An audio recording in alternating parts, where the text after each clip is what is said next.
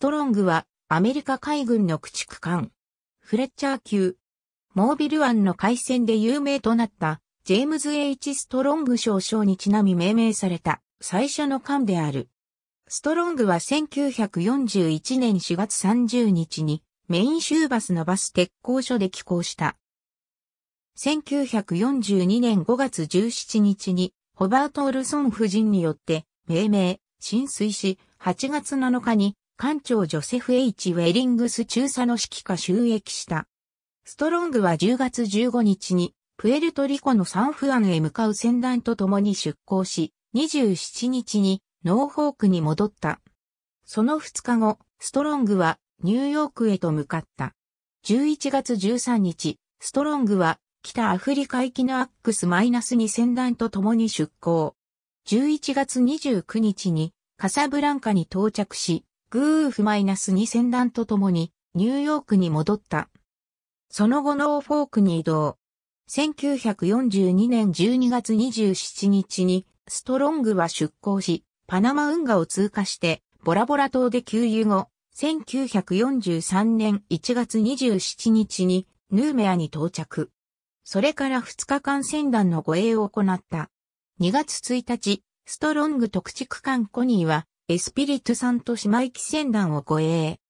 2月5日にそこからソロモン諸島へ向かい、13日までガダルカナル島沖を紹介した後、巡洋艦4隻及び駆逐艦からなる第67任務部隊に加わった。任務部隊は翌月の大半をソロモン諸島やその周辺での紹介に費やした。3月14日、ストロング特畜艦、ニコラス、ラドフォード、テイラーはコロンバンガラ島砲撃に派遣され、3月16日にビーラスタンモアプランテーションを砲撃した。それから部隊はソロモン諸島の紹介に戻った。4月5日未明、軽巡洋艦3隻などと共にサンタイサベル島へ向かう日本駆逐艦補足に向かうところで、ストロングと駆逐艦、オバノンのレーダーが6300メートルの距離に反応を捉えた。それは日本の潜水艦旅34であり、調査に向かったオバノンにより沈められた。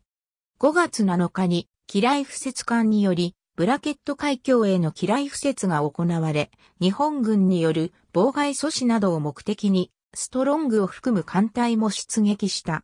この時付設された機雷で5月8日に、駆逐艦黒潮が沈み、親潮と影楼2隻が損傷し、損傷した2隻はその後の空襲で沈んだ。5月12から13日の夜、ストロングと任務部隊は、コロンバンガラ島、エノガインレット、ライスアンカレッジを砲撃した。それからストロングはガダルカナル島沖での護衛や紹介を開始した。7月5日朝、アメリカ軍がライス・アンカレッジに上陸した。ストロングと第18任務部隊は上陸支援として、ビラスタンモアやエノガイ、バイロコを砲撃した。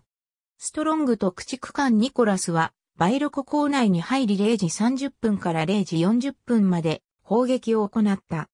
9分後、ストロングの砲術長が魚雷の功績を発見。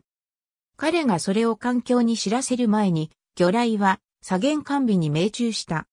駆逐艦シャバリアがストロングの艦首に故意に衝突し、約7分間で241名を異常させた。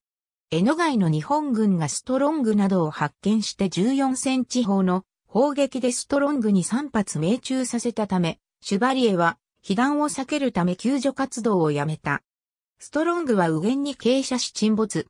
搭載爆雷が爆発しさらなる死傷者を生んだ。46名が戦死。1943年7月15日除籍。2019年2月、調査船ペトレルが、クラワンの水深300メートルの海底に、ストロングの残骸を発見し、バラバラになった船体の画像と映像を公表した。